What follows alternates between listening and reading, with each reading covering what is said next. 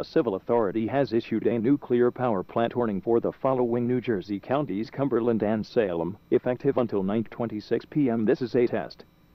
This message is for people in New Jersey only at approximately 7.20 p.m. today a routine test of the Salem slash Hope Creek nuclear generating station so its siren system was conducted. Officials from the New Jersey Office of Emergency Management advise that there is no emergency at the Salem slash Hope Creek nuclear generating station. For additional information, the public may call the New Jersey Office of Emergency Management Public Inquiry Line at 1-60963-6900 TION2 or refer to their Salem slash Hope Creek PSEG Emergency Plan Information Calendar.